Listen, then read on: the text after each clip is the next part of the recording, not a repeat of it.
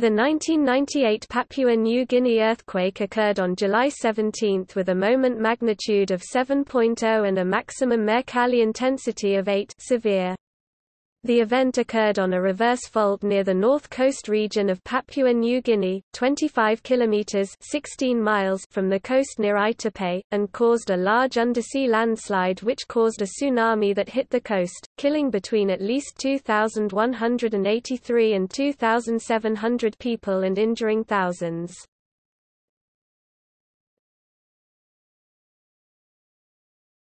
Topic: Earthquake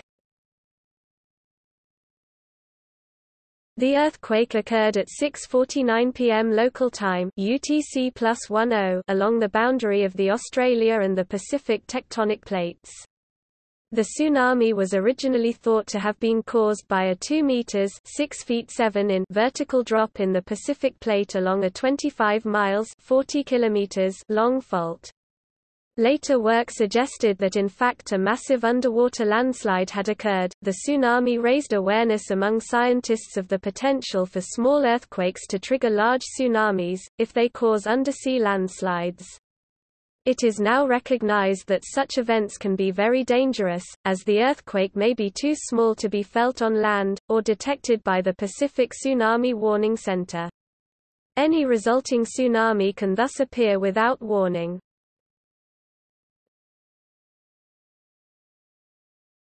Topic: Effects. The earthquake consisted of a main shock and several aftershocks that were felt in several towns in the area around the epicenter. The main shock caused some minor damage to the 62-year-old church at the Sissano Mission, and was strong enough that many people in Malol, Arop, and Warapu left their houses because the shaking lasted for so long. Cracks in the ground formed in Arop and Warapu. A few minutes after the earthquake, many residents reported hearing a loud clap as the tsunami approached the shoreline.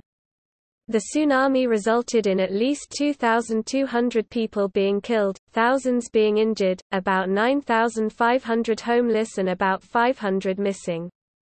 The maximum height of the waves was estimated at being 15 meters (49 feet) high with an average height of 10.5 meters (34 feet). The area worst hit was a 30 kilometers (19 miles) coastal strip running northwest from Aitape to the village of Sissano.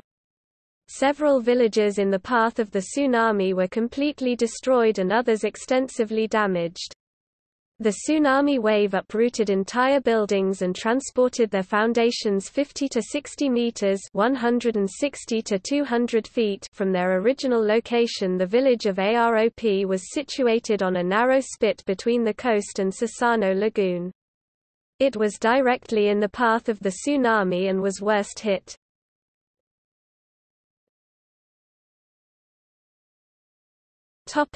Response Immediately after the tsunami the Royal Australian Air Force flew in three C-130 Hercules transport planes with relief supplies. In the days following more relief was flown in and a field hospital was set up in the neighbouring town of Vanimo. The amount of injury and illness due to the tsunami overwhelmed the makeshift hospitals, leaving many victims with wounds that were untreated for several days and led to gangrene. Rotting dead bodies that remained in the lagoon spread diseases and the government sealed off the entire area. After the makeshift hospital in Vanimo was dismantled, the sick people became worse because the nearest hospital was over a day's walk away. Several villages moved their buildings slightly further back from the sea when they rebuilt. Scientists from the University of Papua New Guinea initiated a public awareness program for the residents of the coastal area affected by the tsunami, to tell them that scientific models have concluded that the geology of the surrounding area causes the destructive waves to focus their energy on that area, making it a very dangerous place to live. The scientists also recommended that the Papua New Guinea government improve the escape routes for the villages and improve the tsunami warning system. The country does not have a communications plan put in place, according to the UN Development Project's country report on disaster management.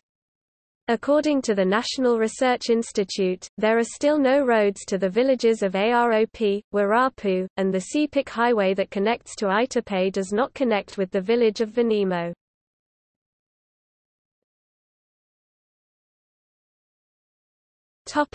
See also List of earthquakes in Papua New Guinea